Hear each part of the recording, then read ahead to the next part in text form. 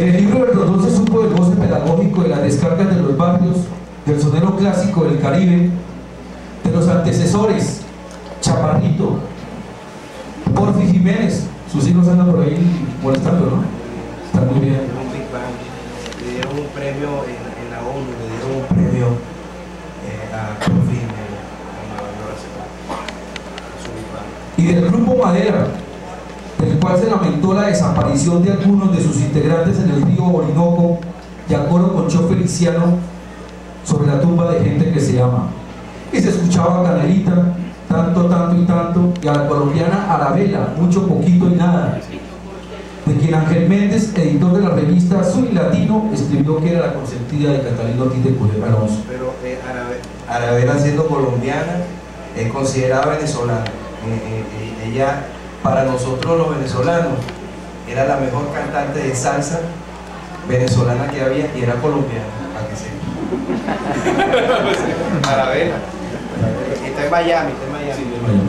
Está bien, la quiero, la quiero llevar a, a Venezuela. Y hablé con todo. Si ustedes la quieren ver, pero que la traigan para acá, para que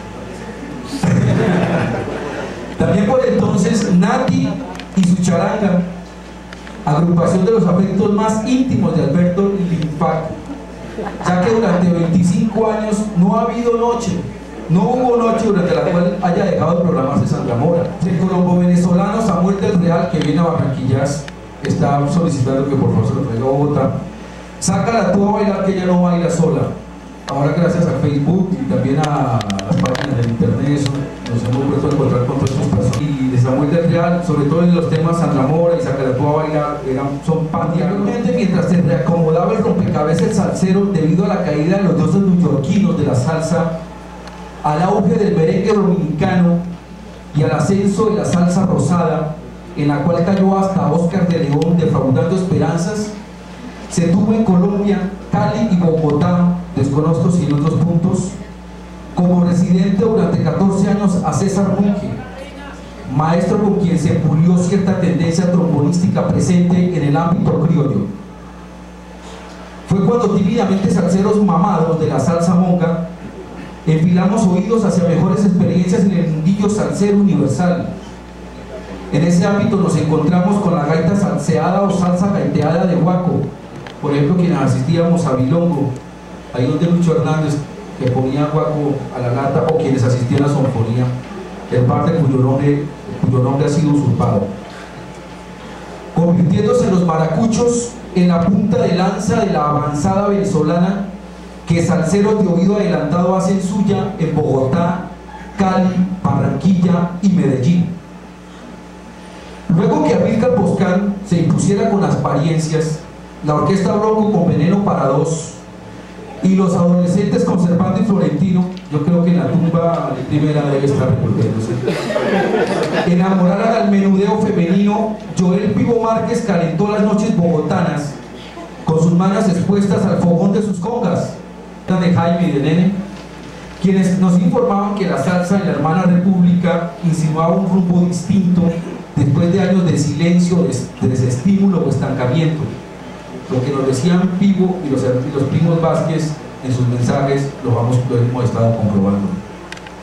Hoy coincidiendo con los precios del barril petrolero al vaivén de la macroeconomía mundial su maestro Orlando Poleo, fue conocido en Bogotá mediante los informes, en el caso mío para muchos los conocimos, creo que Jaime Rodríguez debió conocerlos a lo mejor así, gracias a los informes y material discográfico remitido por Radio Netherland o Radio Francia Internacional a las emisoras universitarias. Ahí llegaba la música de estos venezolanos en Europa.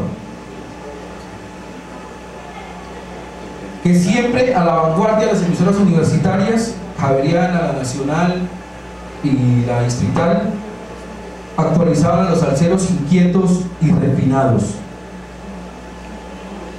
Casi una década después de la primera presentación de Guaco en Colombia y en Salsa al Parque, Sinfonía, fue un gusto para tenido en Sinfonía. Vino a Colombia en la era de la Internet, abriendo caminos bailatino. Meses después se emprendía Avatar en la descarga Croya, Coincidiendo con una segunda avenida, o quizás en la tercera de la banda de Pivo, arribó Alfredo Naranjos y su guajeo, quien fue acompañado por el sexteto latino moderno. Se quedan muchos artistas y colectivos orquestales en el tintero, pero recordemos algunos. Cheo Navarro, quien por cierto a mí me volvió a recobrar una pieza de fuga para cuando de yo de Cuba en un tratamiento muy interesante. Lo que hace Andy Durán con sus Big Band y también con sus programas ilustrativos sobre el jazz, el jazz latino y la salsa y la música cubana, para que nadie se ponga bravo, en la radio caraqueña. La charanga La Crisis, que en un primer momento creí que era venezolana, no, es parte de, Venezuela. Un detalle muy importante que la charanga La Crisis, tenemos dos violinistas, eh, una se llama Laura y Claudia Venezuela. La mamá de Claudia es colombiana, una pianista muy famosa colombiana de música clásica que hizo un posgrado en Moscú hace eso por 200 años. Y el padre de Claudia y Laura es chileno y es director de un conservatorio. Entonces las niñas nacieron en Moscú, hablan español, se criaron en Francia y después fueron a parar por Holanda y las dos tocan violín perfecto, un nivel excelente de música clásica y salsa y charanga. Carlos Julio Ramírez, Cebolla y Pimentón, ¿no? Es, el papá lo, le puso así en honor al tenor colombiano nacido en Tocaima. Javier Plaza, un cantante que estaba contigo. La orquesta Café, Pacheo, quien anda con los bailatinos, Cabi Jazz, el Team Malí, Magia Caribeña, la gente de Federico y su combo, Sontizón, Joel Uriola. Eh, bueno, hay muchos más. Y vienen muchos más allí. Los soneros, Marcial Isturiz, el Dolor Quijada. Ahora viene, ahora viene yo he estado sacando cuenta de los productos que van a salir de Venezuela en estos próximos dos años. Y de lo que yo he sacado cuenta de lo que está por salir, vendrán 20, 25 discos más. De gente que ni se conoce. Yo soy parte de esas producciones y de, muchas cosas que vienen. Todos son personas que no han tenido discos como solista, vienen como solistas, ese Marcial Ituri, ese viene con un disco, Jesse Ramos, la charanga de Alfredo Cutuflán viene un montón de producciones, se está desarrollando este, mucho, que yo no sé cómo se produce tanto porque nadie tiene plata, pero todo el mundo está produciendo. Y los piratas nos están ayudando a promover nuestra música, que mucha gente los odia, pero yo se lo agradezco porque gracias a los piratas yo he podido llegar a donde no hubiese llegado pues un productor independiente no tiene plata para pagarle a la radio para que lo suene entonces usted no tiene plata para pagarle a la radio para que lo suene y no tiene plata porque no puede vender los discos, tampoco los recupera, por lo menos alguien tiene que promoverte. Entonces los piratas se han encargado de promover a toda esta gente y, está chévere. Igual la compañía de Iqueras han robado por siempre a los artistas. Entonces, ¿qué carajo?